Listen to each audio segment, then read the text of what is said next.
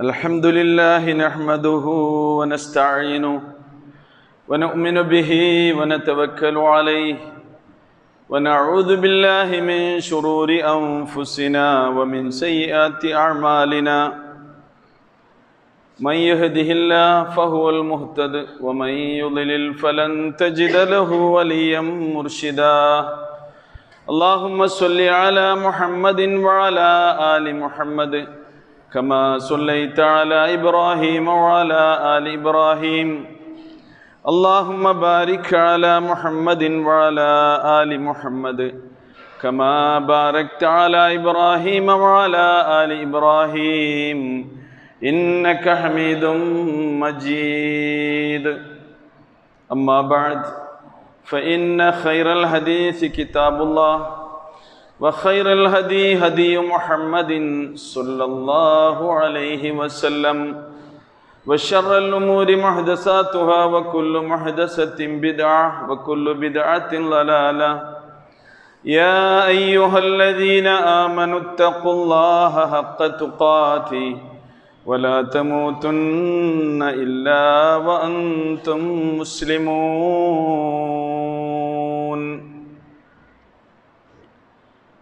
സ്നേഹബഹുമാനമുള്ള സഹോദരി സഹോദരന്മാരെ അളവറ്റ ദയാപരനും പരമകാരുണികനുമായ അള്ളാഹു സുബാനോ താലയുടെ ആജ്ഞാനിർദ്ദേശങ്ങൾ കഴിവിന്റെ പരമാവധി ജീവിതത്തിന്റെ എല്ലാ സന്ദർഭങ്ങളിലും ഓർത്തുകൊണ്ട് അവ ആവുന്നത്ര പ്രാവർത്തികമാക്കാൻ ശ്രമിച്ചുകൊണ്ട് അള്ളാഹുവിന്റെ ഇഷ്ടദാസന്മാരായി ജീവിച്ച് മരിക്കാൻ കഠിനാധ്വാനം ചെയ്യണമെന്ന് സ്വന്തത്തെ മറക്കാതെ എല്ലാവരെയും ഉണർത്തുകയാണ്. അള്ളാഹു സുബാനോ തല നമുക്കതിന് തോഫീക്ക് നൽകി അനുഗ്രഹിക്കുമാറാകട്ടെ. പ്രിയമുള്ളവരെ ഇന്ന് ഹിജറ വർഷം ആയിരത്തി നാനൂറ്റി നാൽപ്പത്തി മൂന്ന് ദുൽഹിജ ഒൻപത് വെള്ളിയാഴ്ച റഫാ ദിനമാണ്. ഹിജറ പത്താം വർഷം ദുൽഹജ് ഒമ്പതിന് ഇതുപോലെ ഒരു വെള്ളിയാഴ്ച ദിവസമാണ് നബി തിരുമേനി സല്ലല്ലാഹു അലൈഹി വസല്ലമയും സഹാബത്തും അവിടുത്തെ ഹജ്ജത്തുൽ വിദാൾ നിർവഹിക്കാൻ വേണ്ടി ഒരുമിച്ച് കൂടിയിരുന്നത്. അറഫയിൽ സമ്മേളിക്കുക എന്നുള്ളത് ഹജ്ജിന്റെ സുപ്രധാനമായ ഘടകങ്ങളിലൊന്നാണ് റസൂൽ കരീം അലൈഹി വസല്ലം പറയുകയുണ്ടായി അൽ ഹജ്ജു അറഫ. ഹജ്ജ് എന്നാൽ അത് അറഫയിൽ ഒരുമിച്ച് കൂടലാകുന്നു അറഫയാകുന്നു എന്നാണ്. ഹജ്ജിന്റെ ആത്മാവും അതിന്റെ നാല് റുക്കുനുകളിൽ പ്രധാനപ്പെട്ട ഒരു റുക്കുനുമാണ് അറഫയിലുള്ള സമ്മേളനം എന്ന് റസൂറുല്ലാഹി സ്വല്ലല്ലാഹു അലൈഹി വസല്ലം നമ്മെ ഉണർത്തുകയുണ്ടായി. അള്ളാഹുവിന്റെ മഹത്തായ അനുഗ്രഹത്താൽ കോവിഡ് ഭീതിയെല്ലാം മാറി ലോകത്തിന്റെ അഷ്ടദിക്കുകളിൽ നിന്ന് പത്ത് ലക്ഷത്തിലധികം ഹാജിമാർ ഇന്ന് അറഫ മൈതാനിയിൽ സമ്മേളിച്ചു കൊണ്ടിരിക്കുകയാണ്. അവരെ സംബന്ധിച്ചിടത്തോളം അവർ നോമ്പനുഷ്ഠിക്കേണ്ടതില്ല. നബി തിരുമേനി അരികിലേക്ക് സഹാബിമാരിൽ ഒരാൾ ഒരു പാത്രത്തിൽ പാൽ കൊണ്ടുപോയി കൊടുത്തു.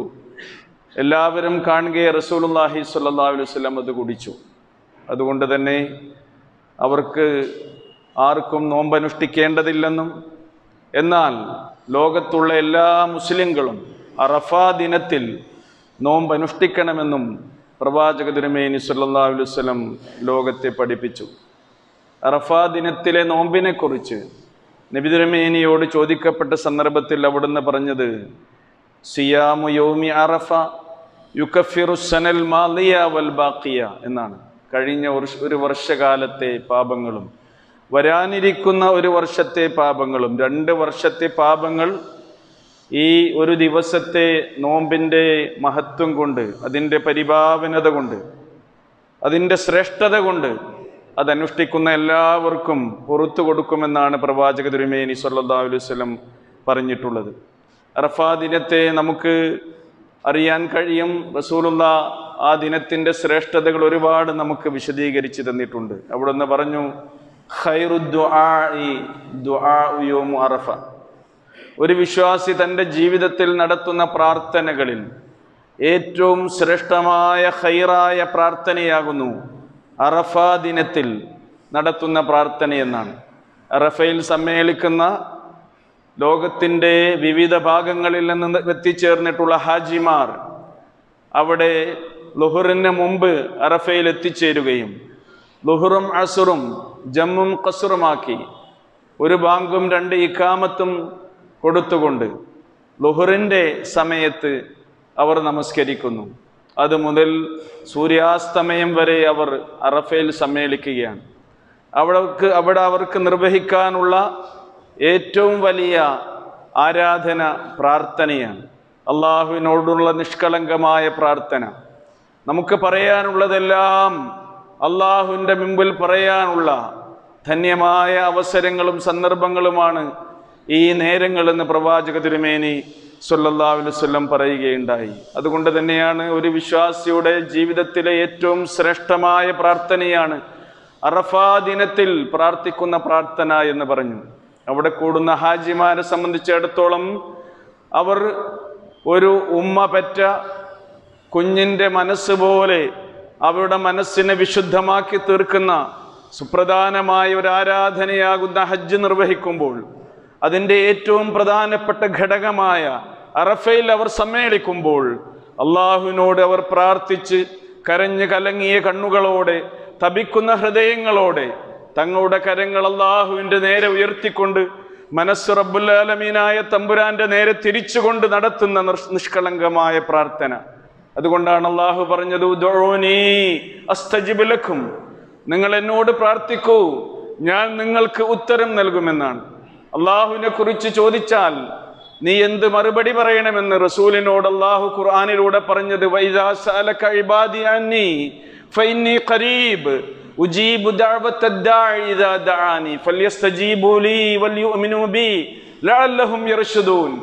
എന്നെ കുറിച്ച് പ്രവാചകരെ താങ്കളോട് അവർ ചോദിച്ചാൽ പറഞ്ഞേക്കുക ഫൈനി ഖരീബ് ഞാൻ അവരോട് സമീപസ്ഥനാണ്.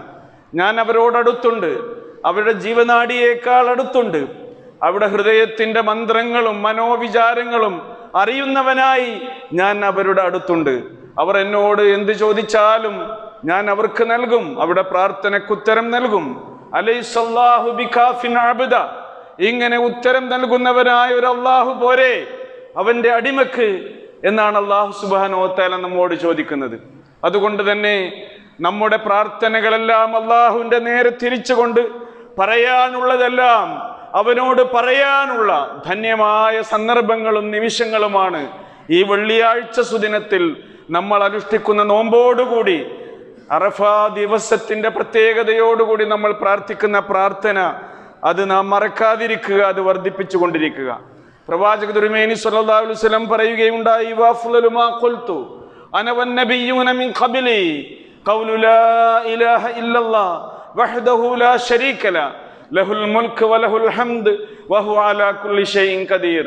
ഞാനും എന്റെ മുമ്പ് ആഗതരായ സകലമാന പ്രവാചകന്മാരും ഈ ലോകത്തോട് പ്രഖ്യാപിച്ചിട്ടുള്ള ആദർശങ്ങളിൽ ആശയങ്ങളിൽ മുദ്രാവാക്യങ്ങളിൽ ഏറ്റവും ശ്രേഷ്ഠമായത് ഇലാഹ അല്ലാഹു അല്ലാതെ ഒരു ആരാധ്യനില്ല. അവൻ ഏകനാകുന്നു അവനൊരു പങ്കാളിയുമില്ല. വഹ്ദഹു ലാ ശരീക لا ലഹുൽ الملك വലഹുൽ الحمد വഹു അലാ كل ഷൈഇൻ ഖദീർ. അവനാണ് സർവാധിപത്യവും സർവസ്തുതിയും സ്തോത്രവും കീർത്തനവും. അവന് തന്നെയാകുന്നു.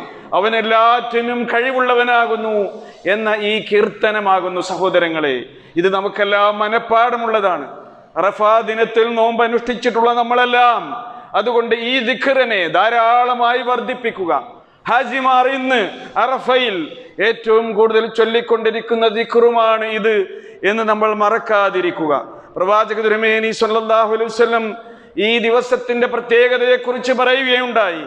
ലോകത്തിന്റെ അഷ്ടദിക്കുകളിൽ നിന്ന് അള്ളാഹുവിന്റെ വിരുന്നുകാരായി ഇന്ന് അറഫ മൈതാനിയിൽ സമ്മേളിച്ച പത്ത് ലക്ഷത്തിലധികം വരുന്ന വിശ്വാസികൾ ഒരേ വസ്ത്രമാണ് അവർ ധരിച്ചിട്ടുള്ളത്. പുരുഷന്മാരെല്ലാം തൂവള്ള വസ്ത്രം ധരിച്ചുകൊണ്ട് അറഫ മൈതാനി പാൽക്കടലായി തീരുന്ന അനുഗ്രഹീതമായ ഒരു ദിനം കൂടിയാണിന്ന്. അവരെല്ലാം ഉയർ ഉയർത്തുന്ന മുദ്രാവാക്യമോ ലബ്ബൈക്ക് അല്ലാഹുമ്മ ലബ്ബൈക്ക് ലബ്ബൈക്ക് ലാ ശരീക ലക ലബ്ബൈക്ക് ഇന്നൽ ഹംദ വന്നിഅമത ലക വൽ മുൽക്ക് ലാ ശരീക ലക് നിന്റെ വിളിക്കുത്തരം നൽകി ഞങ്ങൾ ഇതാ വന്നിരിക്കുന്നു തമ്പുരാനെ എന്ന് അവർ അള്ളാഹുവിന്റെ വിളിക്കുത്തരം നൽകി വിരുന്നുകാരായി അവന്റെ തിരുസവിധത്തിൽ ചെന്ന് അനുഗ്രഹീതമായ അറഫ മൈതാനിയിൽ സമ്മേളിച്ചിരിക്കുകയാണ്. നിനക്കൊരു പങ്കുകാരുമില്ല നാഥ. ഇന്നൽ എല്ലാ അനുഗ്രഹവും സർവസ്തുതിയും നിനക്കാകുന്നു നാഗത ഇന്നൽ ഹംദ തെലക്കൽ തലക്കൽ മുൽക്ക് നിനക്കാകുന്നു സർവ ആധിപത്യവുമുള്ളത് അതുകൊണ്ട് തന്നെ നിന്റെ അനുഗ്രഹങ്ങൾ ഞങ്ങൾക്ക് നീ ചൊരിഞ്ഞു തരണം എന്ന പ്രാർത്ഥനയാണത്. അള്ളാഹു സുബാനോ താല അവരെ തടി അവിടെ തടിച്ചു കൂടിയിട്ടുള്ള ഹാജിമാരെ അവരെ അനുഗ്രഹിച്ചുകൊണ്ട് അവരുടെ പ്രാർത്ഥനകൾ കേട്ടുകൊണ്ട് അവരുടെ മുഴുവൻ പാപങ്ങളും പുറത്തു കൊടുക്കുമെന്ന് പ്രവാചക തിരുമേനി വസല്ലമയോടുകൂടെ നമ്മെ അറിയിക്കുകയുണ്ടായി. മാത്രവുമല്ല അള്ളാഹുവിന്റെ മലക്കുകൾ ഈ വിശ്വാസികളുടെ സംഗമത്തെ കണ്ടുകൊണ്ട് മാല അള്ളാഹുവിന്റെ മലക്കുകളോട് അള്ളാഹു അഭിമാനം കൊള്ളുമെന്നാണ്.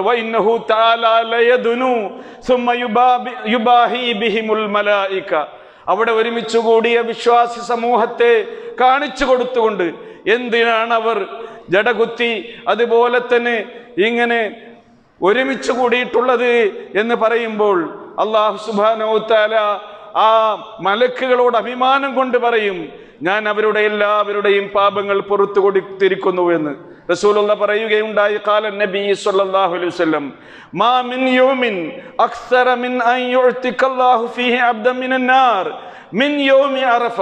അറഫ ദിനത്തിന്റെ അത്രത്തോളം അല്ലാഹു സുബ്ഹാനഹു തആല തന്റെ അടിമകളെ നരകത്തിൽ നിന്ന് മോചിപ്പിക്കുന്ന മറ്റൊരു ദിനവുമില്ല എന്ന് പ്രവാചക തിരുമേനി വസല്ലം പറഞ്ഞു. സഹോദരങ്ങളെ ഈ ദിനത്തിന്റെ പ്രാധാന്യവും മഹത്വവും ശ്രേഷ്ഠതയും ഉൾക്കൊണ്ടുകൊണ്ടാണ് റസൂലുള്ള ലോകത്തുള്ള എല്ലാ മുസ്ലിങ്ങളോടും ഹാജിമാർ അറഫയിൽ സമ്മേളിക്കുന്ന ദിവസത്തിൽ നിങ്ങൾ നോമ്പ് അനുഷ്ഠിക്കണമെന്ന് പറഞ്ഞിട്ടുള്ളത്. നമ്മൾ അതുകൊണ്ട് എന്ത് വേണം? വിശുദ്ധ ഖുർആൻ പറഞ്ഞതുപോലെ നിങ്ങൾ അള്ളാഹുവിന്റെ മാർഗത്തിൽ നേരെ ചൊവ്വേ നിലകൊള്ളണം. ഇസ്തിഖാമത്ത്. നമ്മുടെ ജീവിതത്തിൽ ചേർത്ത് വെക്കേണ്ട ഏറ്റവും വലിയ ഒരു നിർദ്ദേശമായി അള്ളാഹു നമ്മൾക്ക് നൽകിയിട്ടുള്ളത്. അള്ളാഹുവിന്റെ കൽപ്പനകളെ നിങ്ങളുടെ ജീവിതത്തിൽ ചേർത്ത് വെച്ച് ഇസ്തിഖാമത്ത് നിങ്ങൾ നിലനിർത്തണം.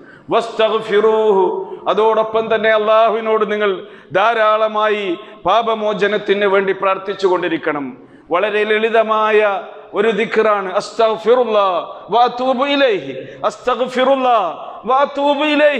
നിരന്തരമായി പ്രവാചക തിരുമേനി വസല്ലം പറഞ്ഞതുപോലെ നമ്മുടെ നാവുകൾക്ക് ഉരിയാടാൻ പ്രയാസമില്ലാത്ത അള്ളാഹുവിന്റെ അരികിൽ ഏറ്റവും പ്രിയപ്പെട്ട എന്നാലോ നമ്മുടെ നന്മയുടെ ത്രാസിൽ ഏറ്റവും ഖനം തൂങ്ങുന്ന ഇതുപോലെയുള്ള ദിക്കറുകൾ. സുബഹാൻ സുബഹാനല്ലാഹി വബിഹംദിഹി. അള്ളാഹി അലീം. ഇതൊക്കെ വർദ്ധിപ്പിക്കാനാണ് പ്രവാചക തിരുമേനി സല്ലല്ലാഹു അലൈഹി വസല്ലം പറഞ്ഞത്. ഈ ദിവസത്തിന്റെ അറഫാ ദിനത്തിന്റെ മറ്റൊരു പ്രത്യേകത നമുക്ക് മനസ്സിലാക്കാൻ കഴിയും. ഒരിക്കൽ ഒരു യഹൂദി സുഹൃത്ത് ഉമർ ബിൻ ഖത്താബ് റളിയല്ലാഹു അൻഹുവിനോട് സംസാരമധ്യേ പറയുകയുണ്ടായി. നിങ്ങളുടെ വിശുദ്ധ ഗ്രന്ഥത്തിൽ ഒരു സൂക്തമുണ്ട്. ആ സൂക്തമെങ്ങാനും ഞങ്ങൾക്കായിരുന്നു അവതരിച്ചു കിട്ടിയിരുന്നെങ്കിൽ. ആ ദിവസത്തെ ഞങ്ങൾ ഒരു ആഘോഷ സുദിനമായി സ്വീകരിക്കുമായിരുന്നു എന്ന്. ഉമർ അലി അള്ളാഹു അദ്ദേഹത്തിനോട് ചോദിക്കുന്നു ഡയ്യോ ആയ ഏത് ആയത്താണ് താങ്കൾ ഉദ്ദേശിക്കുന്നത്? അപ്പോൾ അദ്ദേഹം പറഞ്ഞു കൊടുക്കുന്നുണ്ട്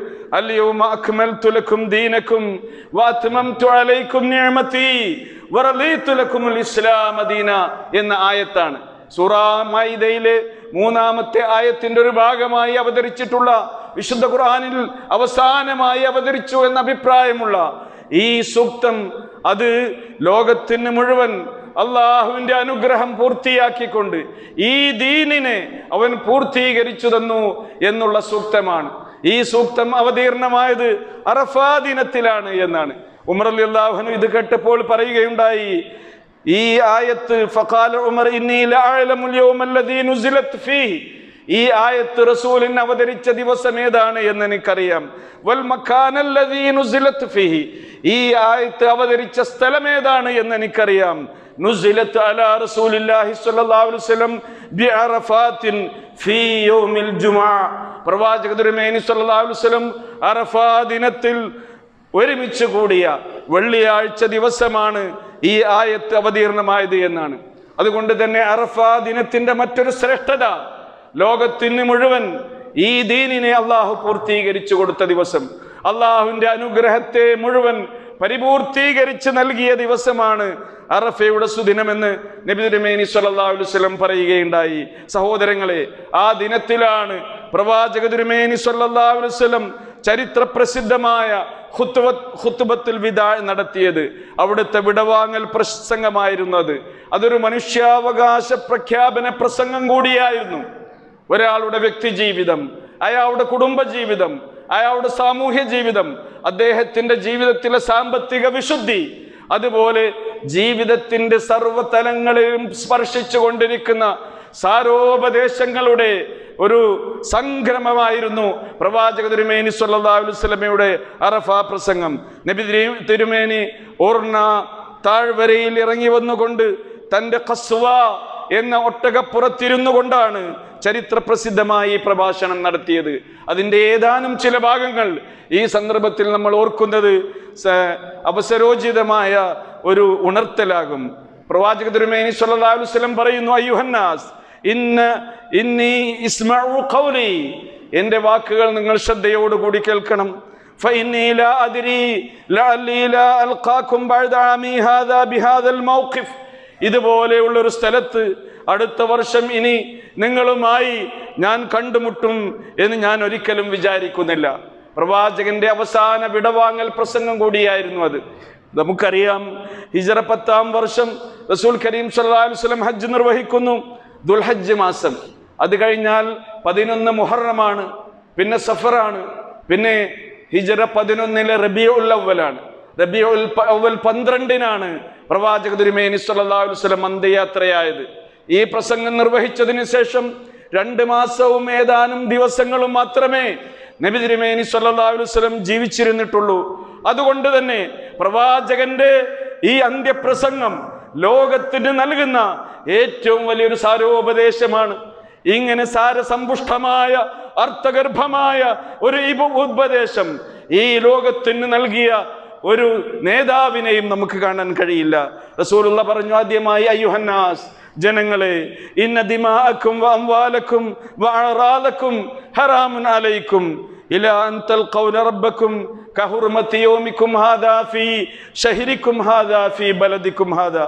ജനങ്ങളെ നിങ്ങളുടെ ജീവൻ ദിമാ വഅംവാൽ നിങ്ങളുടെ സമ്പത്ത് നിങ്ങളുടെ അഭിമാനം ഇത് മൂന്നും പവിത്രമാകുന്നു പരിപാവനമാകുന്നു. ഏതുപോലെയെന്നോ ഈ ദിവസത്തിന്റെ പരിപാവനത പോലെ ഈ ദിവസത്തിന്റെ വിശുദ്ധി പോലെ ഈ മാസത്തിന്റെ മഹത്വം പോലെ ഒരു വ്യക്തിയുടെ ജീവനും അവന്റെ സമ്പത്തിനും അവന്റെ അഭിമാനത്തിനും പരിപൂർണമായ സംരക്ഷണവും മഹത്വവുമാണ് ഇസ്ലാം ഇവിടെ പ്രഖ്യാപിക്കുന്നത്. അവിടുന്ന് പറയുകയുണ്ടായി അലാ കുല്ലു ഷൈഇൻ മിൻ അംറിൽ ജാഹിലിയ തഹ്ത ഖദമി ഹാദാ മൗദൂ ജാഹിലിയ കാലത്തുള്ള എല്ലാ സംസ്കാരങ്ങളെയും സ്വഭാവങ്ങളെയും ശീലങ്ങളെയും ശിഷ്ടങ്ങളെയും എന്റെ ഈ കാൽ ചുവട്ടിൽ വെച്ച് ഞാൻ ഇതാ ദുർബലപ്പെടുത്തുന്നു. അതൊന്നും ഇനി നിങ്ങളിലേക്ക് പൊങ്ങി വരാൻ പാടില്ല.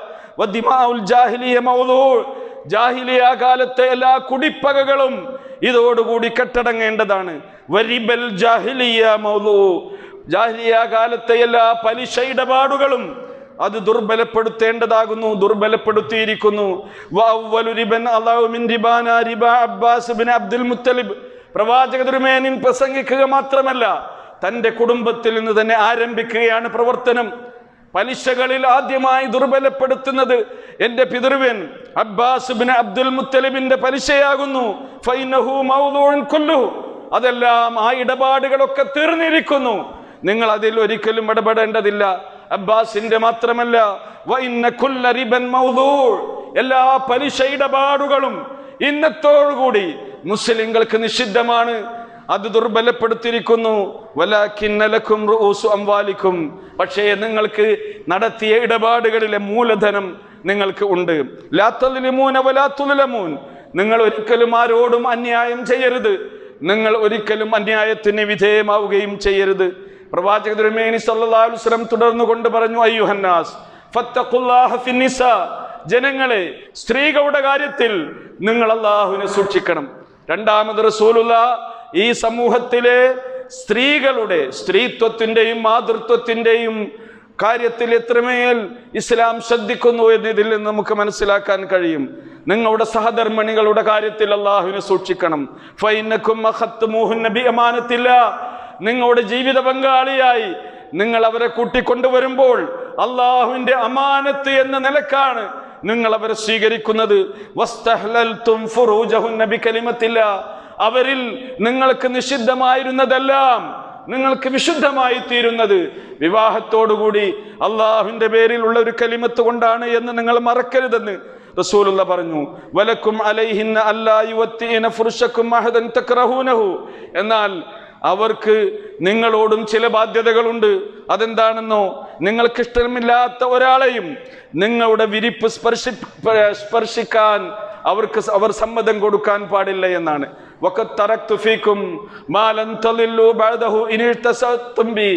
നിങ്ങൾ എനിക്ക് ശേഷം മുറുകെ പിടിക്കുകയാണെങ്കിൽ ഒരിക്കലും വഴിപിഴക്കാത്ത രണ്ട് കാര്യങ്ങളെ നിങ്ങൾക്ക് ഞാൻ നൽകുന്നുണ്ട്. കിതാബുല്ലാ വസുന്നത്ത് റസൂലിഹി. ഒന്ന് അള്ളാഹുവിന്റെ വേദഗ്രന്ഥമാകുന്നു മറ്റൊന്ന് പ്രവാചക ചര്യയാകുന്നു എന്നെ കുറിച്ച് അള്ളാഹു സുബ്ഹാനഹു തല നിങ്ങളോട് ചോദിക്കും.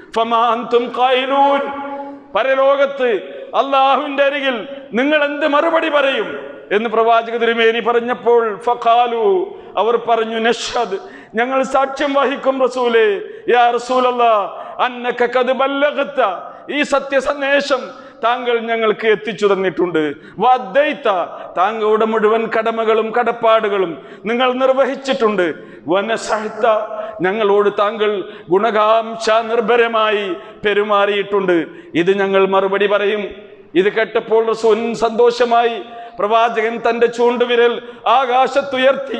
അതിനുശേഷം തന്റെ സഹാബിമര്യന്മാർക്ക് നേരെ ചൂണ്ടിക്കൊണ്ട് പറഞ്ഞു അള്ളാഹു അള്ളാഹു അള്ളാഹു അള്ളാഹുവേ എന്റെ സഹാബത്ത് നൽകിയ ഈ മറുപടിക്ക് നീ സാക്ഷിയാണ്. നാദ എന്ന് പറഞ്ഞുകൊണ്ട് പ്രവാചക തിരുമേനി വസല്ലം വീണ്ടും ഉപദേശങ്ങൾ തുടങ്ങി. അയ്യുഹന്നാസ് ജനങ്ങളെ നിങ്ങൾ ലാഥർജിയോ കുഫാറ എനിക്ക് ശേഷം ഒരിക്കലും നന്ദി കെട്ടവരായി പരസ്പരം കലഹിക്കുന്നവരായി. യദ്രിബു ബഅദുക്കും റികാബ അന്യോന്യം ദ്രോഹിക്കുകയും കൊല നടത്തുകയും കൊലവിളി നടത്തുകയും ചെയ്യുന്നവരായി. ഒരിക്കലും എനിക്ക് ശേഷം നിങ്ങൾ മാറരുത്. വ ഇന്നക്കും സത്തൽക്കൗന റബ്ബക്കും. തീർച്ചയായും നിങ്ങൾ നിങ്ങളുടെ റബ്ബിനെ കണ്ടുമുട്ടും. ഫയസ്അലു അൻ അൻമാലിക്കും ആ സന്ദർഭത്തിൽ നിങ്ങളുടെ കർമ്മങ്ങളെ കുറിച്ച് നിങ്ങളുടെ റബ്ബ് നിങ്ങളോട് ചോദിക്കും. ആ സന്ദർഭത്തിൽ നിങ്ങൾക്ക് മറുപടി പറയാൻ കഴിയണം. സഹോദരങ്ങളെ റസൂൽ കരീം വസല്ലം നമുക്ക് ഇസ്ലാമിന്റെ ജീവിക്കുന്ന സാക്ഷിയായി മാതൃക കാണിച്ചുകൊണ്ട് കടന്നുപോയി. ലോകത്തിന് മുഴുവൻ ഇന്നും മാതൃകയാണ് പ്രവാചക തിരുമേനി സല്ലല്ലാഹു അലൈഹി വസല്ലം. ലഖദ് കാന ലക്കും റസൂലില്ലാ ഹസന.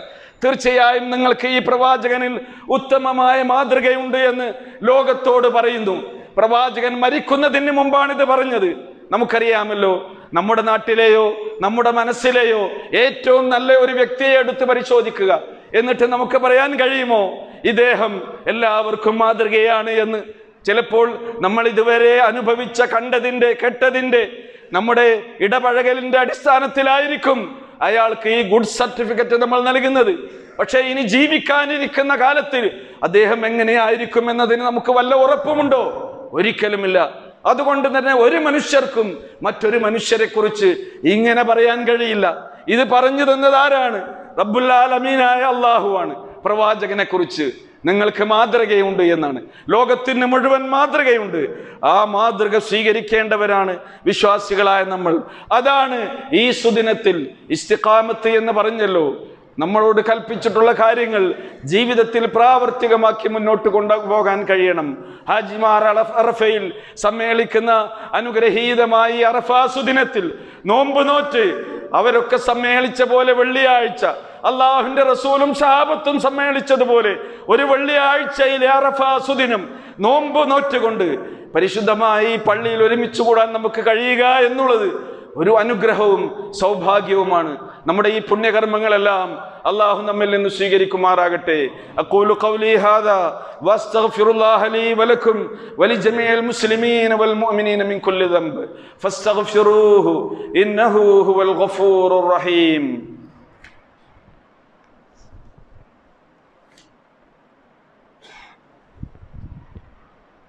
الحمد لله الحمد لله الذي هدانا لهذا وما كنا لنهتدي لولا أن هدانا الله. اللهم صل على محمد وعلى آل محمد كما صليت على إبراهيم وعلى آل إبراهيم إنك حميد مجيد. اتقوا الله عباد الله. പ്രിയമുള്ള സഹോദരി ماري അള്ളാഹുവിന്റെ വിധി വിലക്കുകൾ മാനിച്ചുകൊണ്ട് ജീവിക്കാൻ ശ്രമിക്കണമെന്ന് ഒരിക്കൽ കൂടി ഉണർത്തുകയാണ്. അള്ളാഹു സുബാനുവത്തല അതിന് നമ്മെ എല്ലാവരെയും അനുഗ്രഹിക്കുമാറാകട്ടെ.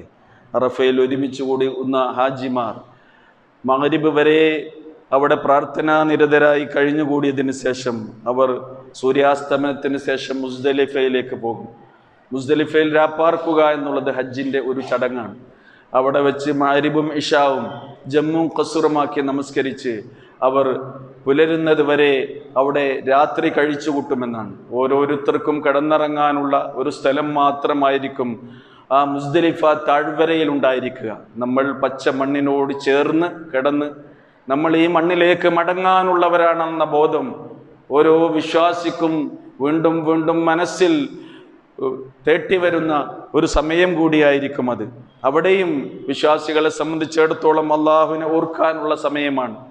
ദുൽഹജ്ജ് പത്ത് പുലർന്നു കഴിഞ്ഞാൽ യോമുൻ നെഹർ പെരുന്നാളിന്റെ ദിവസമാണ് ബലി ദിവസമാണ്.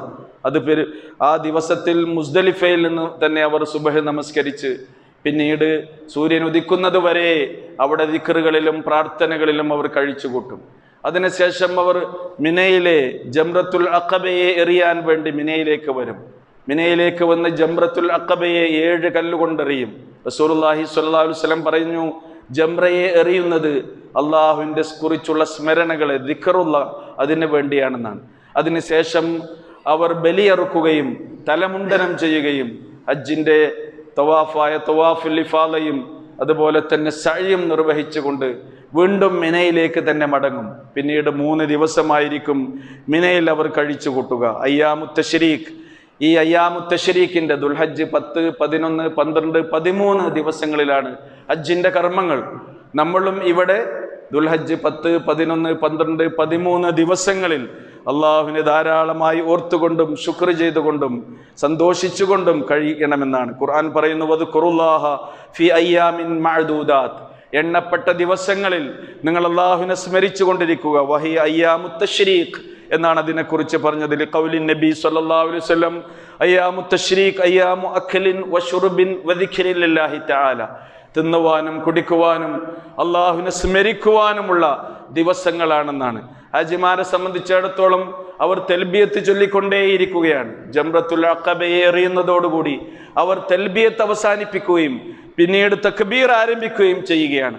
നമ്മളെ സംബന്ധിച്ചിടത്തോളം ദുൽഹജ്ജ് പത്തിന് തുടങ്ങുന്ന ഈ തക്ബീർ ദുൽഹജ്ജ് ഒമ്പതിന് തന്നെ സുബഹയ്ക്ക് തക്ബീർ ധ്വനികൾ മുഴക്കി തുടങ്ങാം എന്നൊക്കെയാണ് സഹാബി ചര്യകളിൽ നിന്ന് നമുക്ക് മനസ്സിലാക്കാൻ കഴിയുന്നത്. വക്കാന ഇബിൻ ഉമർ യുക്കബ്ബിറു ബിമിനൻ തിൽക്കൽ അയ്യാം. ഇബിൻ ഉമർ അള്ളാഹുൻഹു മിനയിൽ ആ ദിവസങ്ങൾ തക്ബീർ ചൊല്ലാറുണ്ടായിരുന്നു. വഖൽഫ സ്വലാത്തി നമസ്കാരങ്ങൾക്ക് ശേഷം.